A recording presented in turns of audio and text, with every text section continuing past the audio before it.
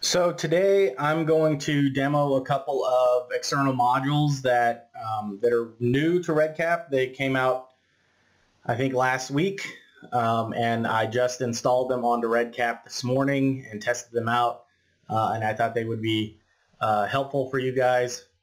Uh, the first one is going to be the file upload external module and what this module does is, I don't know if you were all familiar with the file upload field, but when you create a, uh, a file upload field for people to upload files, it just gives a link for you to click on and download, and I'll show you that.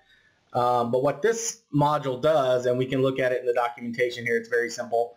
It just allows you to display the uploaded file as an inline embedded object in the form.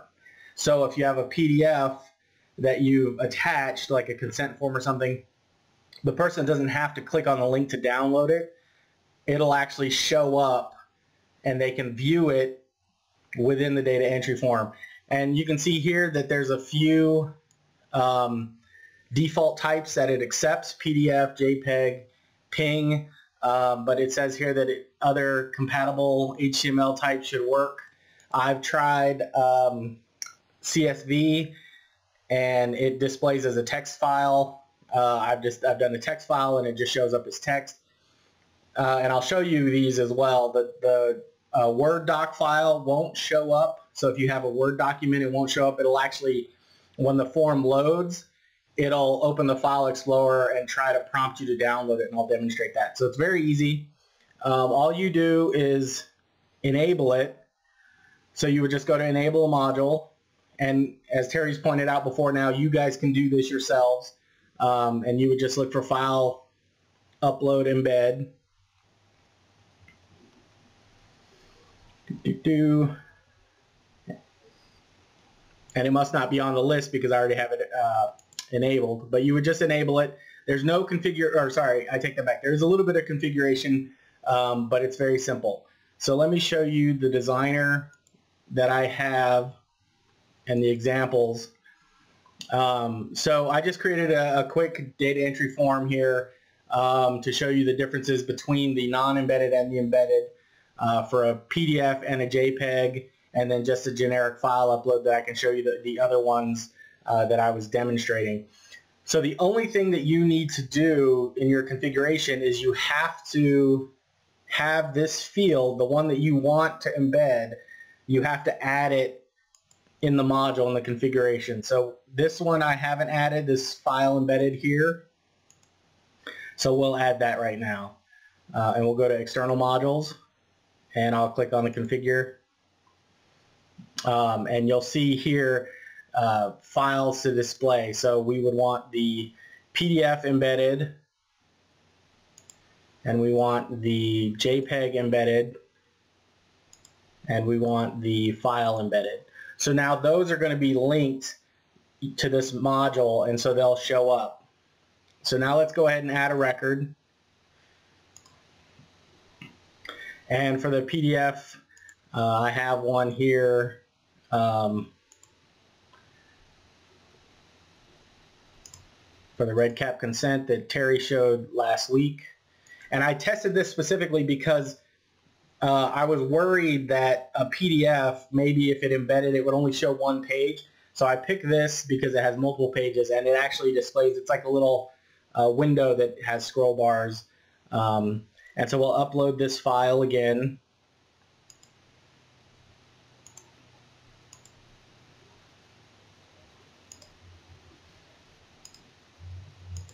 And then I have a JPEG that I'll upload.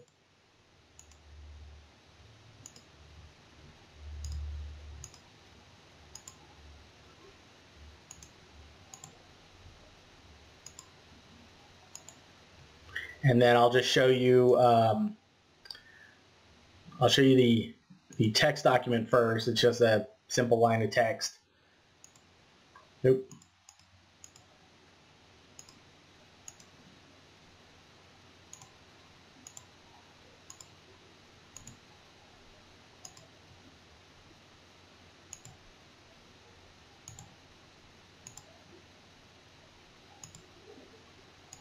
So none of this is going to show up until you save the form. So if I click save and stay, then it'll refresh and you'll be able to see all these things now.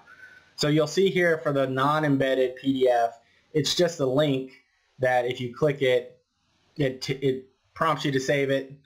Um, but if we scroll down here, this is for the PDF embedded version. And if you, you can scroll through it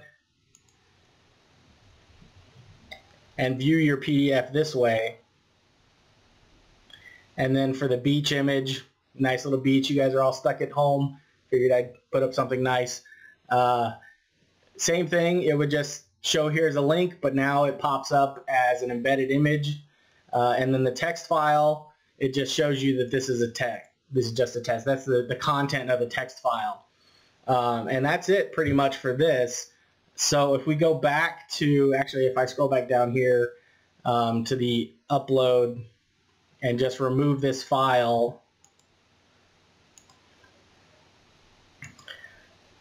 I can show you the CSV. Most of you are probably used to opening a CSV in Excel, so you get it as a table format, but this shows you what it looks like natively in the text document. Uh, hopefully it won't take too long to upload. I think I picked the big one. Uh, so let me go ahead and cancel that. Um,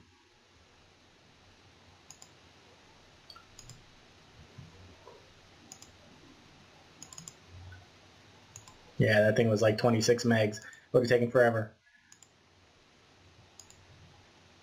So that's this is the CSV. So if we refresh this and scroll down, um, this is the CSV information. Um, and so, and I, I, haven't tested to see if you can edit in here. You probably can't. Um, it's just uploaded. Um, and then I'll show you how it looks when you try to import a or try to attach a um, Word document.